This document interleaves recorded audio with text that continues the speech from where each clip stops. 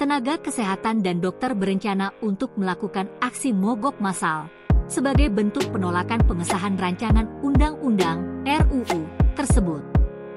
Pasalnya pengesahan RUU Kesehatan dinilai berpotensi mengkriminalisasi tenaga kesehatan dan dapat membahayakan masyarakat secara umum karena tidak mendapatkan layanan kesehatan yang maksimal.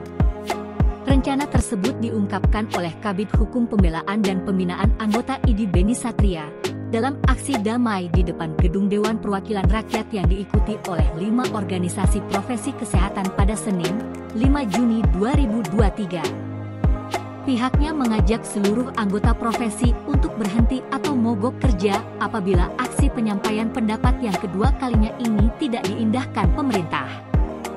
Ketua Ikatan Dokter Indonesia, IDI, Lamongan, Budi Gunawan, mengatakan total akan mencapai 3-4 juta orang dari lima organisasi profesi akan mogok massal pada 14 Juni 2023 mendatang saat RUU Kesehatan Omnibus Law kabarnya akan disahkan.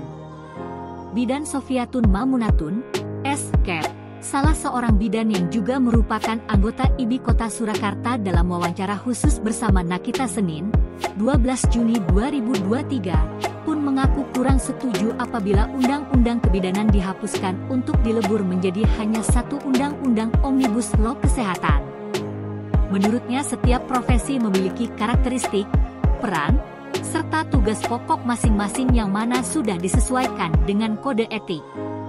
Menurutnya, daripada menghapus UU Kebidanan, Sofi berharap UU semestinya berjalan sesuai dengan kondisi masa kini sehingga kode etik, tugas pokok, dan fungsi masing-masing profesi kesehatan bisa lebih diperjelas sesuai dengan ilmu dan teknologi terkini.